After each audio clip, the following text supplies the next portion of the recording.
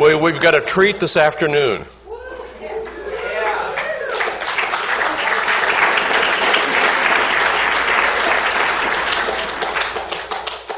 For our mystery speaker for 2010, on the 25th anniversary of the Mises University, we bring you a man who is famous, but will be more famous still. A man who has accomplished so much through his writing and his extraordinary speaking, but will accomplish even more. A man who was a champion of civil liberties, of peace, of free markets, but will be an even greater champion in years to come. Help me welcome our most extraordinary speaker, a man who, by the way, makes normally huge speaking fees, but is coming here today as a gift to the Mises Institute and to you. Help me welcome this great man.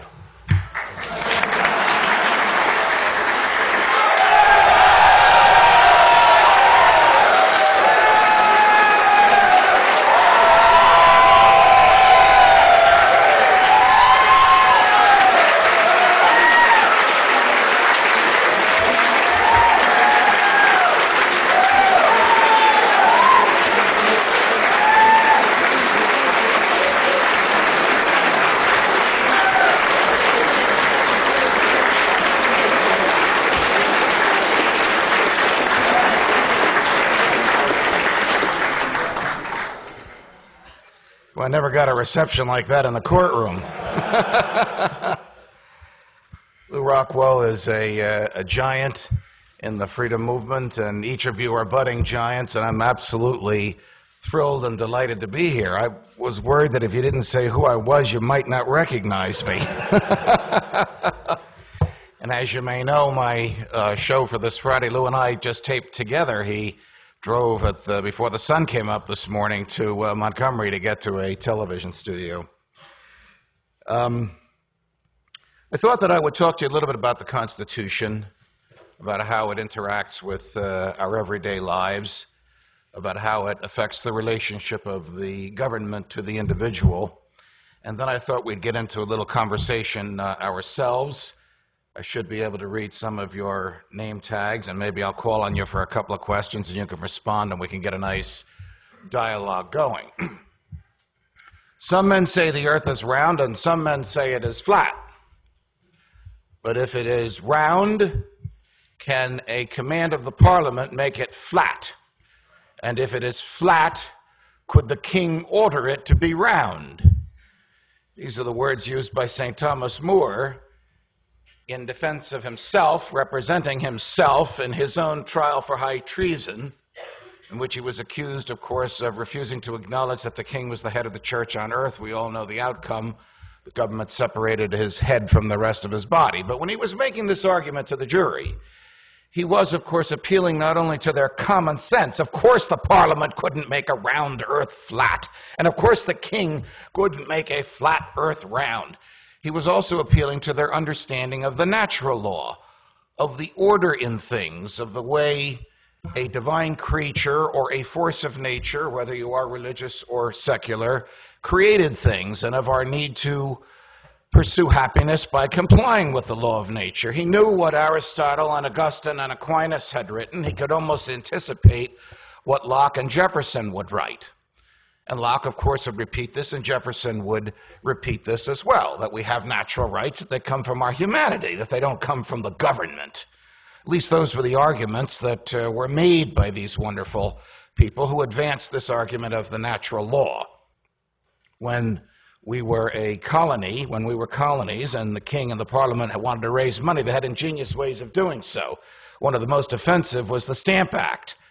Parliament enacted a law that required every piece of paper in your home, every book, every pamphlet, every legal document, even a poster you were going to nail to a tree, have the king's image on it.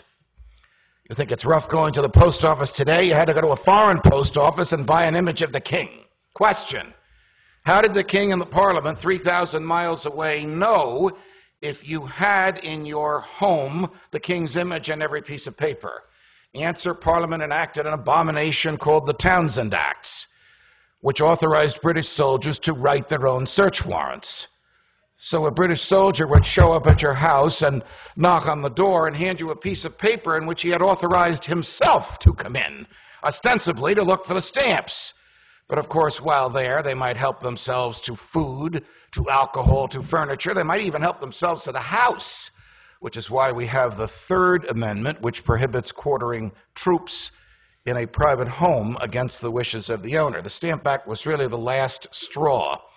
It was the only one of the oppressive acts that Parliament actually repealed in an effort to quell the colonists from their rebellious ways.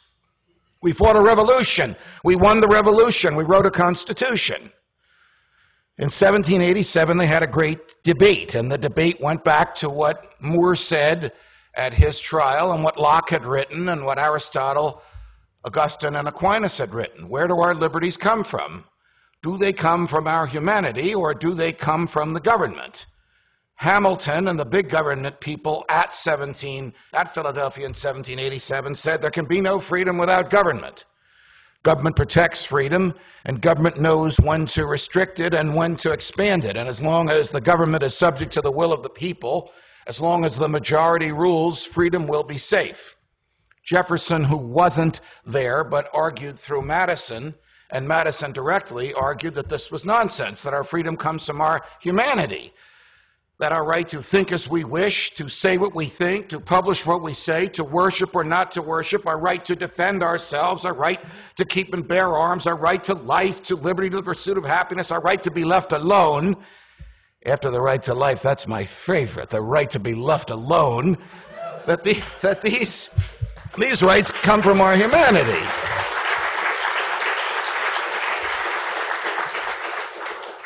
and rights either come from our humanity by virtue of the force of nature or are gifts from God. As He created us in His own image and likeness, as He is perfectly free, we are perfectly free. The argument went back and forth. If you meet, read Madison's notes, if you read Max Farrand, if you read any of the standard works which quote the debates in Philadelphia. We, we didn't win all those debates. We have a constitution that does have a Bill of Rights in it. It doesn't grant power, it restrains the government from exercising power. The Bill of Rights was written to restrain the federal government. Ultimately, it would be used in almost all instances to restrain all government. But there are uh, majoritarian impulses in the Bill of Rights which undermine the notion that our liberties come from our humanity. So let's think of a few of them. Everybody knows this phrase Congress shall make no law abridging the freedom of speech. What's the most important word? The. Why? It represents the understanding of the drafters that the freedom of speech preexisted the government. It preexisted them. It already existed before they assembled in 1787. It reflected in the simplest of ways their understanding that the freedom of speech did not come from anything they wrote or created in 1787, but rather was being recognized by them as something that they and their successors must respect. And so the First Amendment gives us the restraint on the Congress with respect to expressive liberties.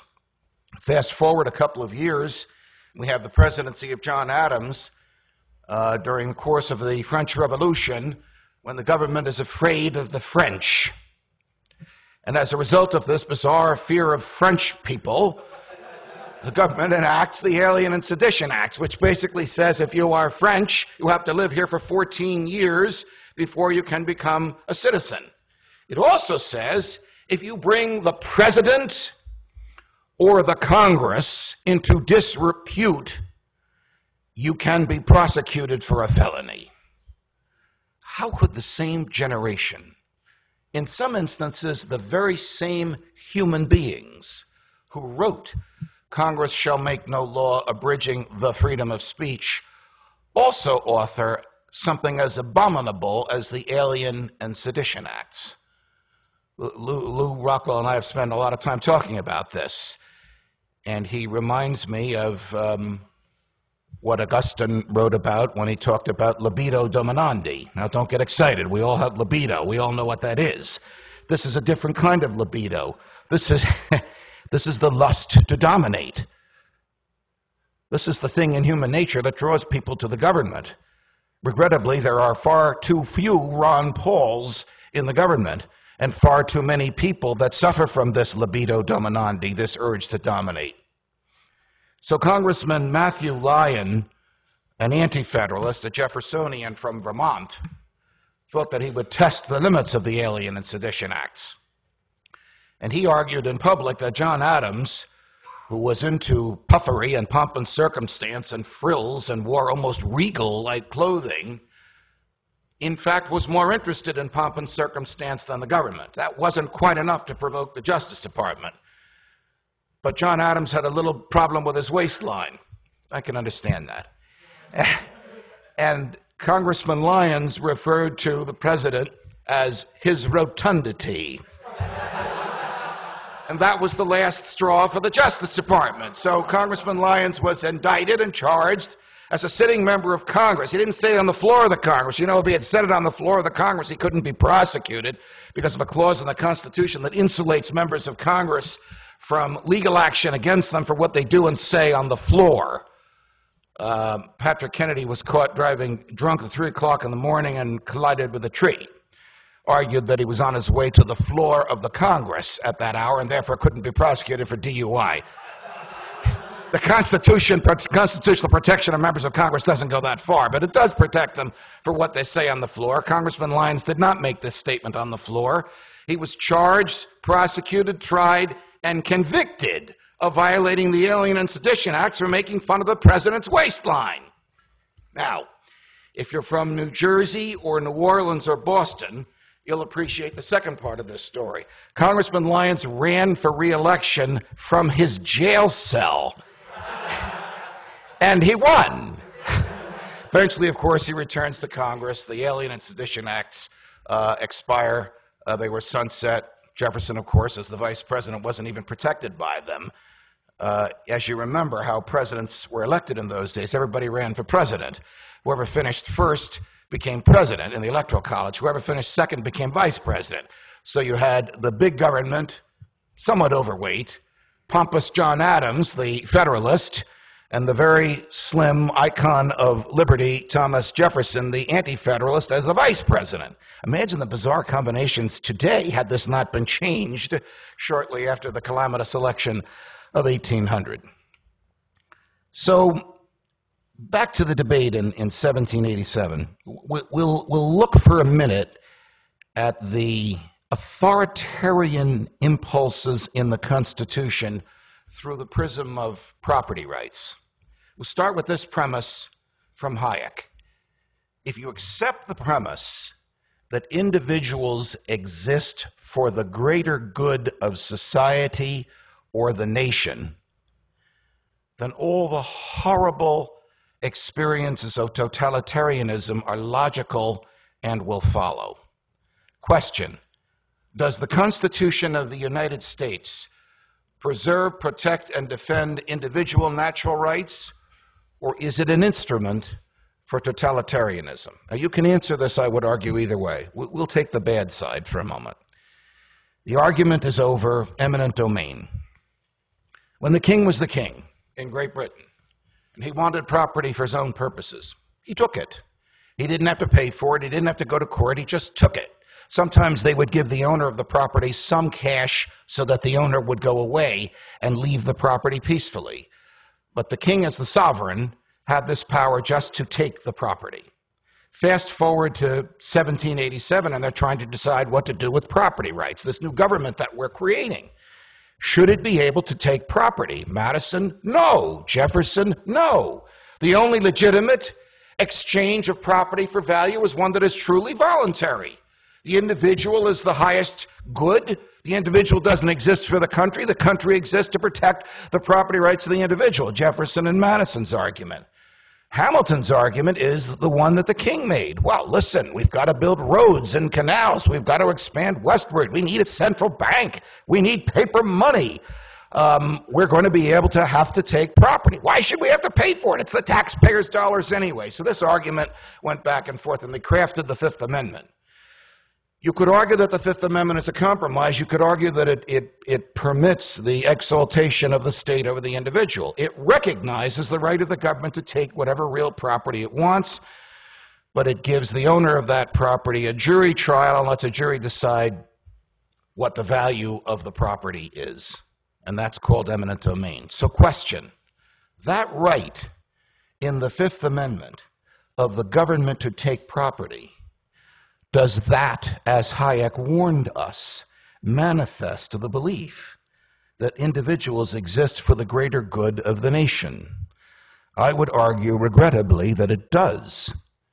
That if we truly are free, then our property is truly our own, and we can exclude anyone from it, even the government. That's not radical. That was the idea of most of the founders when they were breaking away from the king. And if you read what Jefferson wrote in the Declaration of Independence, those were his ideas as well. So the Fifth Amendment is an imperfect compromise.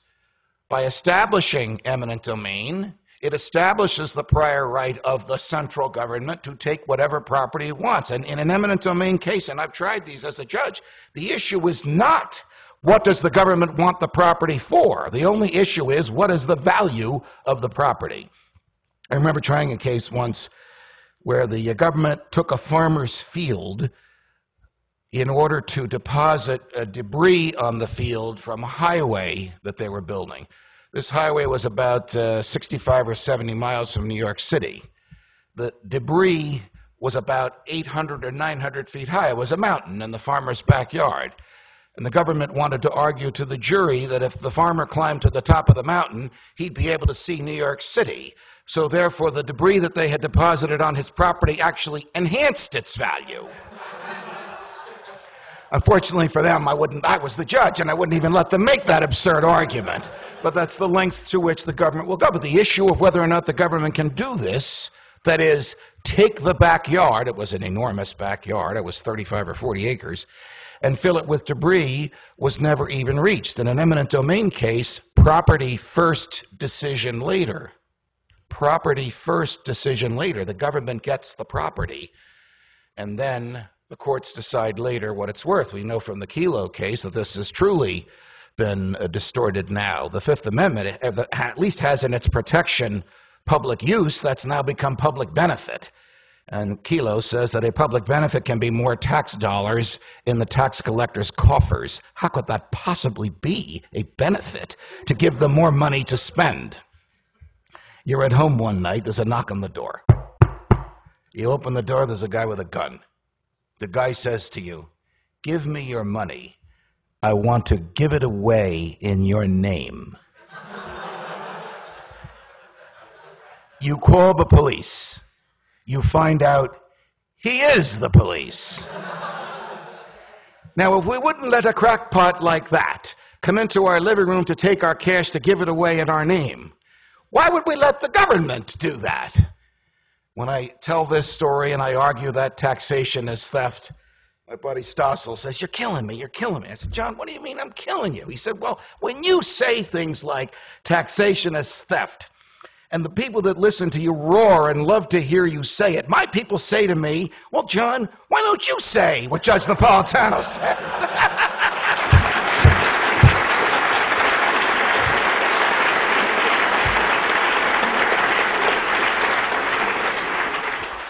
I shouldn't tell stories by myself. I'm, I'm awed at the uh, reception that you've given me and utterly uh, delighted to be here. This is the greatest academic institution on the planet for the study of human freedom, bar none. And you are all fortunate to be here.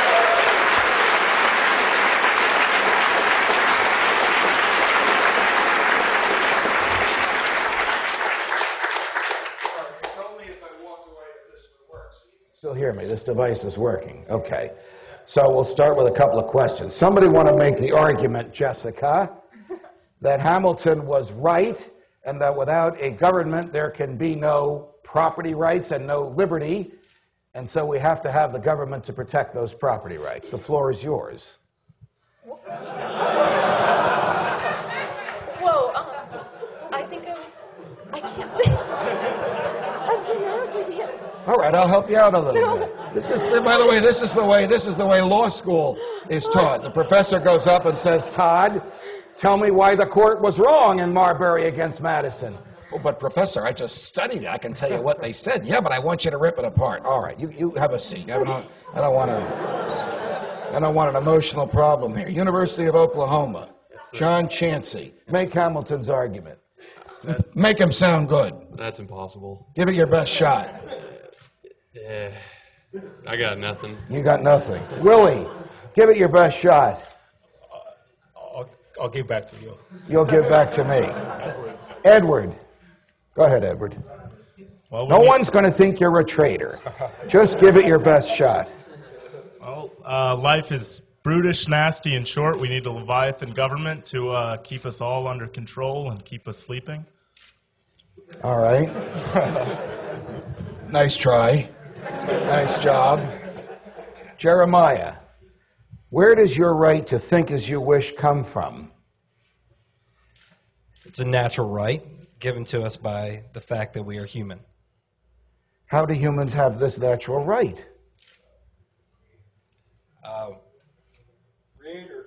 No, I um, I'm glad that somebody said the Creator because you should be able to make both of these arguments. You should be able to make a religious argument and a secular argument. Here's the secular argument I own my own body, I own what my body produces, I own the ideas that comes out of it, I, that come out of it. I own what I produce with the sweat of my brow. I own the thoughts that I express. I own the property and wealth that I accumulate. Or I was created in the image and likeness of an all knowing, all loving God who is perfectly free. And as I am in his image and likeness, I have the freedom that he gave to me. Those two arguments meet at the position of true north. I shouldn't have both microphones. Hold that for me, Ted. And, and, and true north is the position that everybody in this room accepts, which is the primacy of the individual over the state. Obviously, we accept that as the starting point from which we study political philosophy, economic philosophy, and the relationship of the government to the individual. Who's got the microphone? All right, keep it, Ted. Why does the government reject that argument? Well, the government rejects the argument because they feel as though we would take those rights from each other if we didn't have someone to keep us in line and, and protect them for us. Is the government more interested in our freedom or its own power? Well, it wouldn't be able to exercise uh, its ability to protect our freedoms if it didn't have complete power over us, so I would say it's much more interested in its own power. How did it get this way? How did we get a government which can only pay lip service to the Constitution? I was interrogating this congressman from uh, South Carolina, Jim Clyburn, the number three ranking Democrat in the House, about health care. And I said, Congressman Clyburn, very simple declaratory basic question. Where in the Constitution is the federal government authorized to manage health care? He looked at me as if I had three heads and said, Judge, most of what we do down here, I was in New York, he was in Washington, through the magic of Fox, it looked like we were in the same room. Most of what, most of what we do down here is not authorized by the Constitution. Now, we, we all laugh at that. Everybody does every time I relate it, and you may, you may give him some credit for his honesty, but it's reprehensible. Congressman, do you remember that you took an oath to uphold the Constitution? Yes. But you tell me, he says, to continue the conversation, where in the Constitution it is prohibited. I'm just going to walk down the aisle. Stay where you are, Matthew. Where in the Constitution it is prohibited for the federal government to manage health care. Now, that is the more serious of the two confessions because that reveals an utter misunderstanding of the Constitution and the nature of limited government. If he thinks that the federal government can do everything except that which is prohibited, then it can do almost anything it wants. In fact, of course, the federal government is limited if the Constitution means what it says, unless it's this sneaky majoritarian document intended to create totalitarianism when we have a dictator like Lincoln or, or Franklin Roosevelt, or even his cousin Theodore or the guys that have been in the White House in the past couple of terms. You'll have to decide for yourself whether the Constitution was written to permit that. But we know that at least as you read it, it is one of limited powers. Do you remember Reagan's first inaugural address? I know you do. Who has the microphone? All right. In Reagan's first inaugural address, in the third paragraph, I know you remember what he said. The states formed a federal government. Do you remember what he said? Um, the states formed the federal government. And not the other way round. Now, if your humble temporary professor had been the author of that speech, I would have added, and the power which the states gave to the central government, they can take back.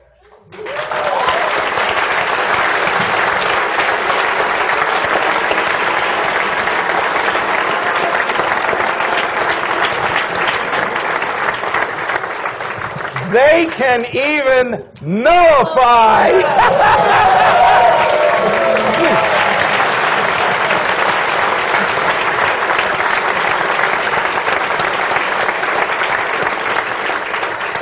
Forgive me, those of you who are my generation. This is the smartest guy in the room. they can even nullify what the federal government does, as you know, a concept readily accepted, articulated in the Declaration of Independence. If we can separate from Great Britain, why can't the part of the country that hates the central government separate from the rest? Make sense to you? Makes perfect sense. Okay. Anybody else want to throw anything out at us? Sir. Um, I think you're an anarchist and you don't know it yet.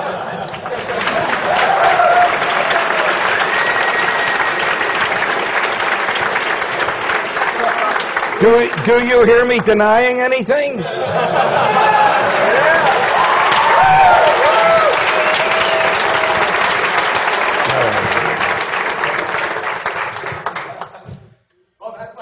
Oh, I thought, I thought there was going to, going to be a follow up. You know, I, I, I have uh, argued, some of you have heard what I've said, and some of you have read uh, what I've written, and some of you have seen me with Lew Rockwell and uh, with Tom Woods, that uh, the government exists for only one purpose, and that is to preserve our freedom.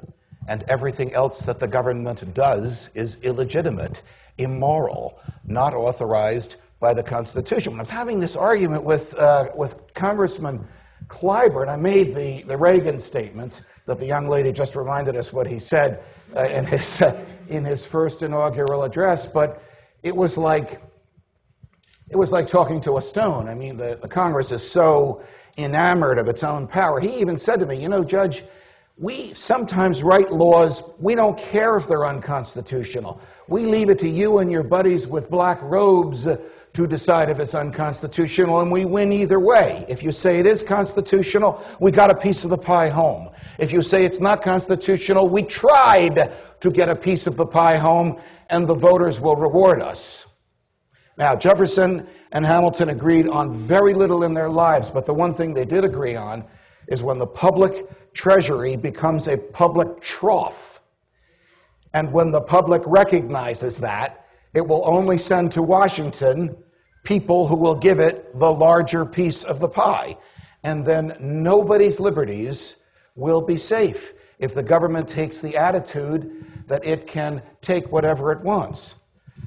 So then I said to Congressman Clyburn, well, you know, the, you want the federal government to micromanage health care. How well does the federal government do managing anything else?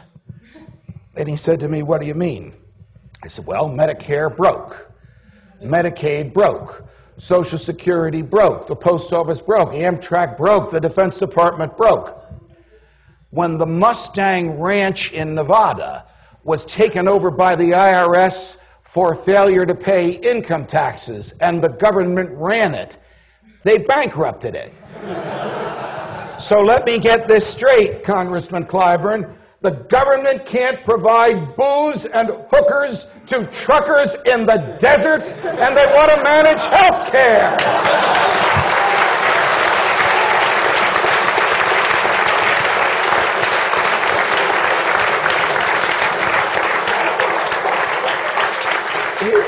Here's, a, here's a little bit of good news, and it follows from the silly example I just gave. I don't think I could have made arguments like this in public 10 years ago or maybe even five years ago. If there's any uh, silver lining in the dark cloud of totalitarianism consuming Washington and extending its tentacles into our pocketbooks and our, and our private lives, it is that the argument for freedom is more compelling. The argument for freedom is reaching more people.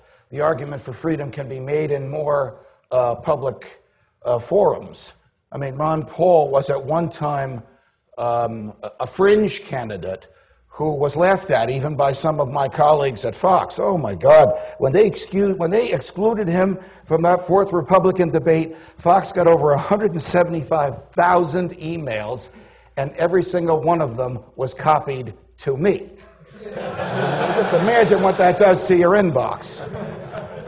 But the argument for freedom, made so articulately by Congressman Paul, the rest of us try to make the argument uh, that he makes on the national scale, resonates with so many young people and resonates with so many even middle class people, not the beneficiaries of the education that each of you have had, that Lew Rockwell has had, that Tom Woods has had, that I was uh, privileged to have simply because the government has become so overbearing, so overweening, so disrespectful of the Constitution, so lacking in any uh, self limitation that the argument for freedom is one that you can make more openly, more broadly, and it resonates more effectively than at any, any time that I can think of. The last time I remember arguments like this was probably before almost each of you was born.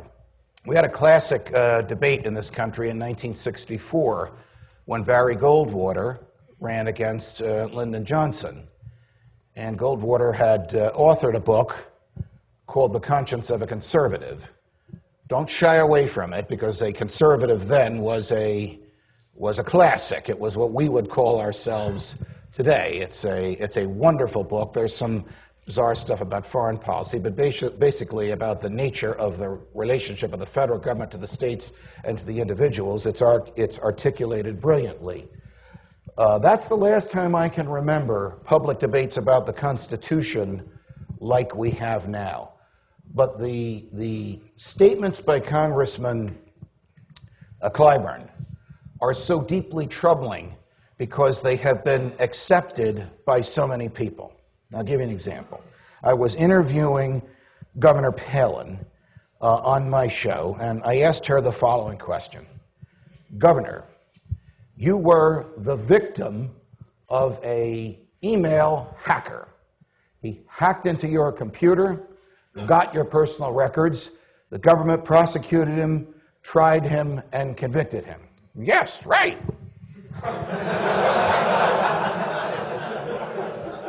Question, Governor. Should the government be able, hang on to that, John. Should the government be able to hack into your email without a search warrant from a judge? Well, of course not. And any statute or any law in the books that says that it can's got to come right off those books. Seated next to me, she was in Utah on a screen about this size in the studio. Seated next to me was Congressman Paul, who said, I'm one of just 16 Republicans that voted against the Patriot Act. He could have said, but he's a gentleman and didn't, that she campaigned for when she ran with John McCain. So, does a person's attitude about freedom change when they are the victim? Or did she not know that the Patriot Act authorizes federal agents to write their own search warrants? You can decide for yourself which is the appropriate answer. But that that phrase, combined with one I'll tell you about uh, in a moment, went viral. You know, a lot of people picked it up uh, all over the internet because, you know, Palin attacks the Patriot Act. Then I said to her, Governor, is it any business of the government what chemicals we put into our bodies when we are at home, in the privacy of our homes, and when no one is harmed by it? And she goes, You talking about marijuana? Yes. I don't think it should be legal, but I don't think it should be prosecuted. What? Right. What is exactly what I said. That, of course, went viral. Palin in favor of legalization of marijuana. sometimes when you, when you present arguments in a way that, uh, that emphasize the ignominy of the government and natural freedoms, people will accept those arguments, forgive me, without even realizing what they're saying. I don't know what her thoughts uh, were when she said that, but when, if, you, if you are before groups or in front of the camera, you, you need to understand ways to make these arguments so that the government is shown as the destruct, destroyer of freedom that it is, and the individual is shown as being uh, having primacy over the government. Now, it's not always easy to do that. Uh, I spend about every Sunday afternoon. I don't have the time to, to do this during the week, so I have somebody on my staff make a copy, download everything that's on lewrockwell.com. And my favorite part of the week is Sunday afternoon, just going through two thick loose, loose leaves, because I don't like to read it on the screen, of everything that's on there. You know this because you're all here. These are just some of the greatest arguments for human freedom that you can imagine. They're, they're treats from Murray Rothbard to Hayek to Lew himself to Tom Woods to a lot of people all over the country that share and enjoy the ideas uh, that we do and help you to make your point. So, how many ways are there to earn wealth? I can think of three.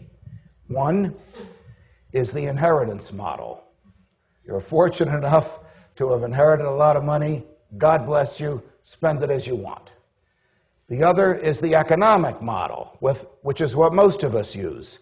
You work hard, you trade a skill, knowledge, sweat of your brow, the work of your muscles, the creation of your brain to somebody else who pays you for it. And the third is the intimidation model your money or your life. Which model does the government use? It's not even a close call. So when you can explain things like that, I learned a lot of this from Woods. When you can explain things like that, people understand exactly what's happening here. You, you may not talk about the majoritarian impulses of the, of the Fifth Amendment. If you're a scholar of the Constitution, you know exactly what I'm talking about. But when you tell people the government can take anything it wants from you, no matter how badly you want to keep it, as long as it throws an adequate amount of money at you, most people would object to that. If you go up to somebody and say, Do you want to live your life as you wish, or do you want the government to tell you how to live it? Now, that's a question that really only has one answer. I don't even know how Congressman Clyburn would answer a question like that. But you, you have to confront the adversary and put that question to them and bring these things that government does to us right down to the basics of who makes the decisions in our lives. All right, questions. You ready to make Hamilton's argument? Not yet. All right. All right, we'll get there. Yes, and the pink shirt right here. What'd you do? Shave with a credit card this morning? I'm just being a wise guy. Go ahead. Judge, when the principle of freedom and the Constitution, when they conflict, which one should be paramount to U.S. justices who swore to uphold the Constitution? What's more important, the freedom or the Constitution? Almost everybody uh, who was a judge in the country today would probably answer the Constitution. But I would argue that the Constitution embodies the natural law, and it is the duty of judges to uphold the natural law no matter what the majority says. The whole purpose of an independent judiciary is to be the anti democratic branch of government. What do I mean by that? The anti democratic, lowercase d branch of government. Wait a minute. To be the. Uh... Oh, they brought the mic. Thank you. To be the branch of government that's not decided by majoritarian vote but has its own uh, authority on what's right and wrong. Why do we want an anti democratic branch of government? I thought the majority rules, Joshua. Because if the majority rules, it can steal the rights of the minority? Pre- precisely. Because if we did not have an anti democratic branch of the government, there would be nothing to prevent the majority from taking the property or the freedom of the, minor- of the minority by a simple vote. Hitler was elected pursuant to the laws that existed in Germany at the time by some sort of a majority vote. No one could seriously argue that simply because the majority has voted for something, that it is worthy of protection in our hearts or by the use, I'm getting back to your great question earlier, of our courts. So there should be no question in anyone's mind that the duty and the affirmative obligation of the courts is to protect natural liberty. Who on the Supreme Court of the United States today comes closest to doing this? Justice Thomas, and it's not even close. Unfortunately, he's only one of eight. Every once in a while, you'll hear something from my friend Nino, but for the most part, Justice Thomas is the only person who writes about, in, in judicial opinions, the natural law, and it is its, its restraint on the government. That's the beauty of the natural law when it is recognized is it restrains everything except personal freedom. Uh, speaking of the Supreme Court, Judge, uh, when President Paul nominates you to the Supreme Court, will you accept and how will you handle the smell?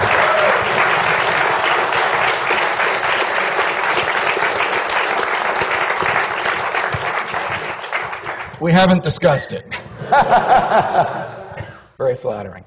Somebody else wants to stir the pot. Sir, Paul, pass that down to him. You're welcome. Um, during the um, uh, con- uh, Constitutional Convention, uh, when the Constitution was first ratified, the state delegates came over and they ratified the Constitution, which means, I think, that the federal government has power over the states, not the people in the states, correct? To an extent. Here's, here's what I would say, and I think it's a great argument. The third word of the Constitution is highly misleading. What is it? People. It was we, the states, that enacted the Constitution. It was not we, the people. The Constitution was ratified by ratification conventions in each state. It didn't matter whether a state had 50 ratifiers or 10,000 ratifiers. Until the Civil War, the federal government had next to no relationship to individuals. From and after the abominations of Reconstruction, when you needed in the South, right where we are now, permission from a, a federal military person to go to the post office, to be outside with your spouse, to play a game in public with your children. It was a dictatorship for 10 years from 1865 to 1876, 11 years um, the, the government began having a relationship with individuals. Uh, Lincoln enacted, the Congress enacted at Lincoln's instigation, legal tender laws. The Congress enacted an income tax, which eventually uh, went away. But the presumption that the federal government had authority over individuals without a scintilla of authority in the Constitution for it was accepted. Why? Wartime I once sang that Springsteen song on air, which of course got me a call from the second floor, which is where the executives of Fox are. war, war, what is it good for? The government. Because war is the health of the state. Because presidents.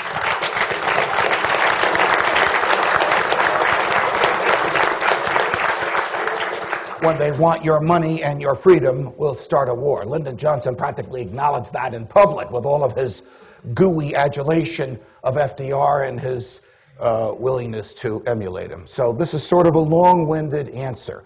I mean, in the progressive era, with the destruction of states' rights and with the institution of the income tax, the, the 16th and the 17th Amendments, the federal government begins a very, very direct contact with individuals by going into your pocket by thinking it can take as much. Oh, don't worry, the tax will never be more than about three and a half or five percent, and it'll only affect the wealthiest people. At one point, it went up to 90 percent. So, you know, you give them that authority and they'll take it. I am so offended by this amendment, which destroyed the ability of the states to send senators to the, uh, to the Congress and allowed the voters to elect them, that I think you can answer this bizarre sounding question. Question Is there any part of the Constitution that is unconstitutional? Answer It is this amendment. It is the 16th Amendment that destroys the ability, that takes the states away from the table of government. Here's the table of government. The people are there in the House of Representatives. The state is there in the president. The states are there in the Senate. Do you think Chuck Schumer would still be representing New York if the state legislature sent him there? Probably not, because most of what he does doesn't have anything to do with the power and independence and sovereignty of the state of New York.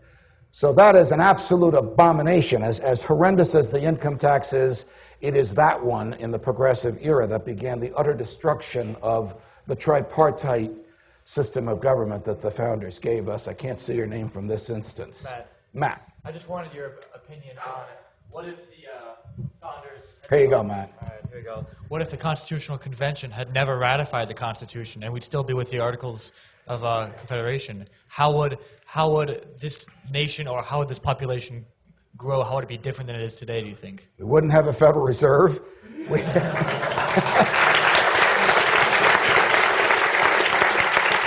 We- We, wouldn't have a president who thinks he can be a king. We wouldn't have a Congress that thinks it can write any law, regulate any activity, tax any event. We'd be happier and freer. I'm, I'm projecting, of course. You're asking me to rewrite 230 years of I just history. wanted a brief. In other words, yeah. better, or worse. Oh, not, scale. not even a close call. Look, I, I, I spend my professional life studying and defending the Constitution, but I didn't write it. I mean, I would have written a lot of different things, and, and the Articles of Confederation uh, created a system of government which permitted the states to nullify, to tell the federal government uh, to take a hike, which literally was based on the consent of the governed. All right, Jessica, let's see what you do with this one. Is the government based on the consent of the governed?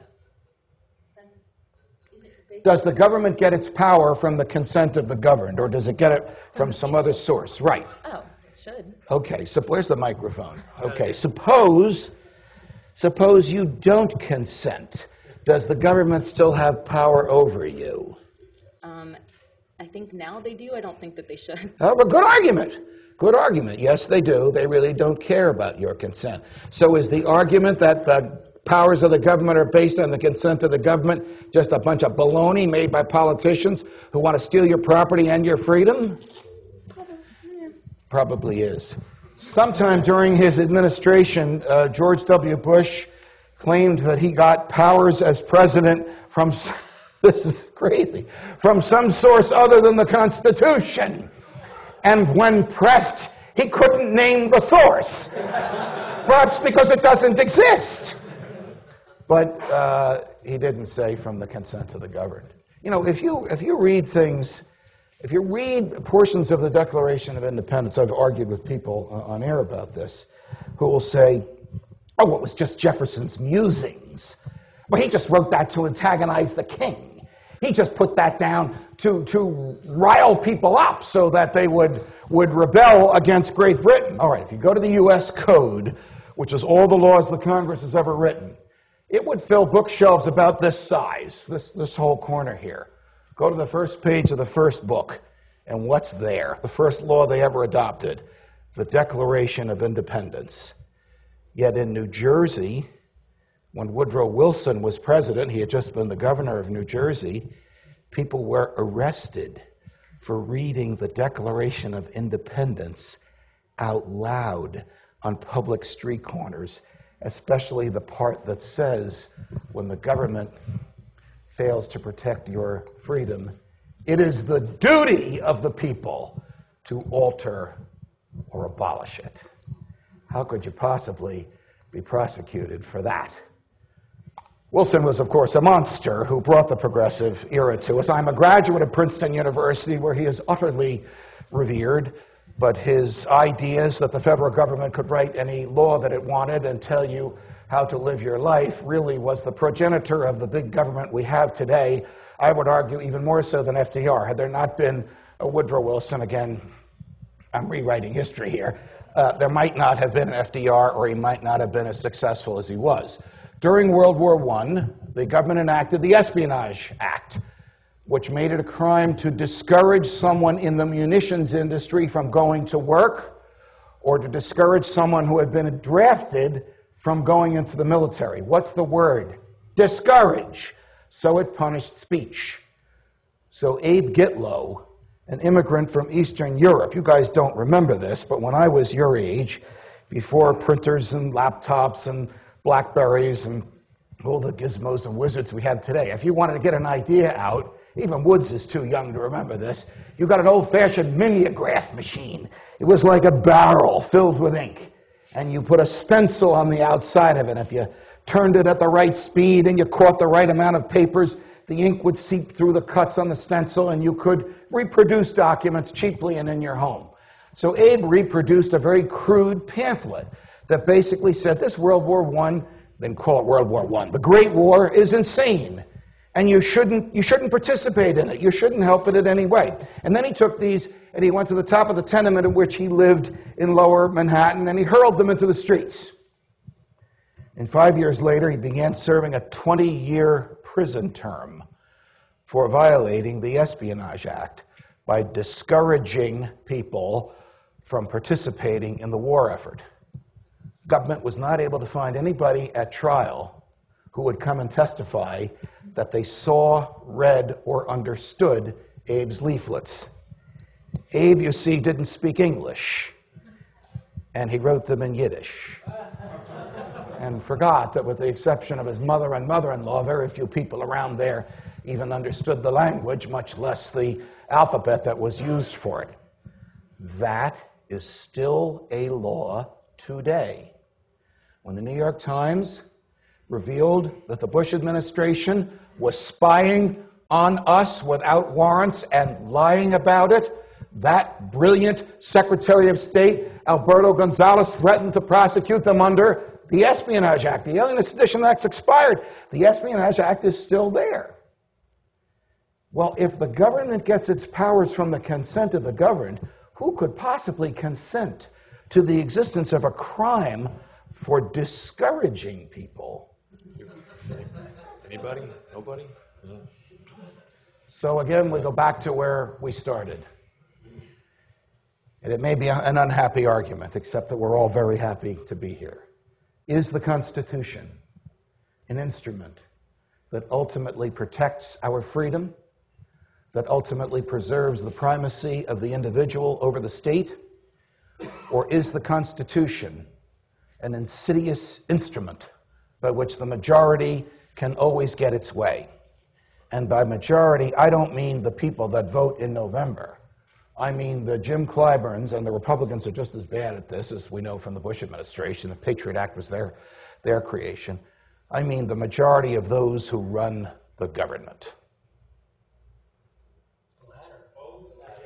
Well, both, neither, either one. Look, this is like how many angels are on the head of a pin. We're, we are not going to come to an answer to this now. I throw this out to you not to express any personal exasperation or, or any frustration with the document, but I throw it out to you because you ought to be thinking about these things. As well as each of you understands Austrian economics, you need to understand how the government came to exist, how the government operates, and what it claims it can do. Boy, if the world were filled with young people like this, we wouldn't have these things to worry about. Jefferson.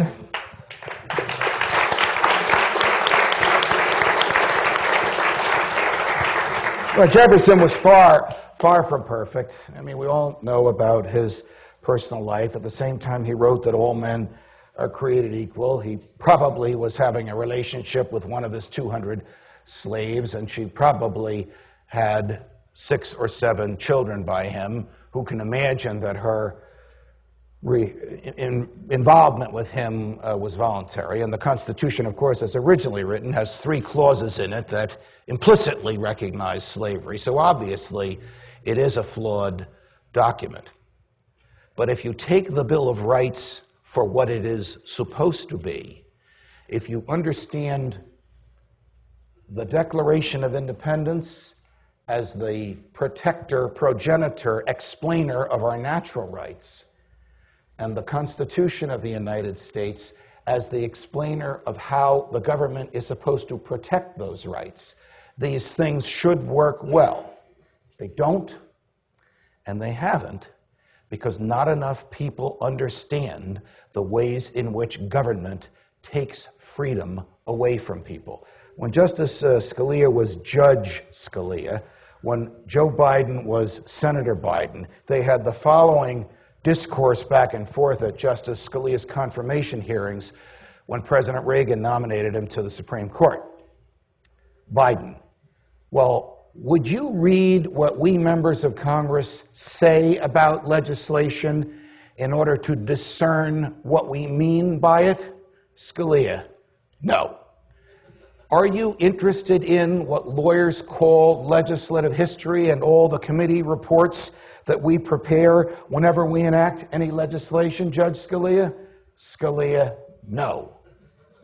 Don't you want to know the reasons why we vote in favor of legislation to preserve the American people? Scalia, there's only one reason why you vote for anything, Senator Biden to get reelected. It doesn't matter what you say. That's the only reason that you people in government do anything. What is it called? Libido dominandi. We're back to where we started the lust to dominate. The only thing that these people fear is the loss of their power. Jefferson, when the people fear the government, there is tyranny. When the government fears the people, there is liberty. God bless you, my friends. Thank you